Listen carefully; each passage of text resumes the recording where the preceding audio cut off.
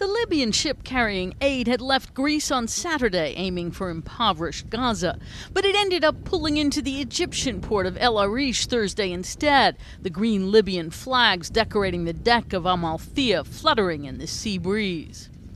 The Israeli Navy had headed it off the day before, still enforcing a blockade on Gaza despite the incident back in May when nine pro Palestinian activists were killed in a raid on a similar aid bearing ship.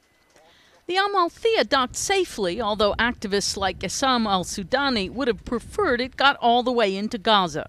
I am not totally happy with what happened. All my colleagues are not happy with the situation. I am Egyptian, and Egypt is my homeland. And I don't accept that the Israelis are dictating to me what I have to do. In Gaza City, though, Hamas spokesman Sami Abu Zuhri said it illustrated an important point.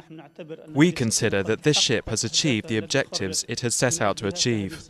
It has demonstrated that Gaza is still under siege, and that all the claims peddled by the occupation, that Gaza is no longer under siege, are nothing but false, unfounded propaganda. Through the day Thursday, though, teams were busy unloading Amalthea's cargo, which Egyptian officials said would be transported overland by the Red Cross crescent into Hamas controlled territory.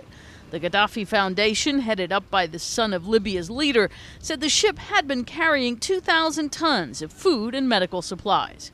Israelis have defended their blockade by insisting it's vital to keep weapons out of Hamas' hands.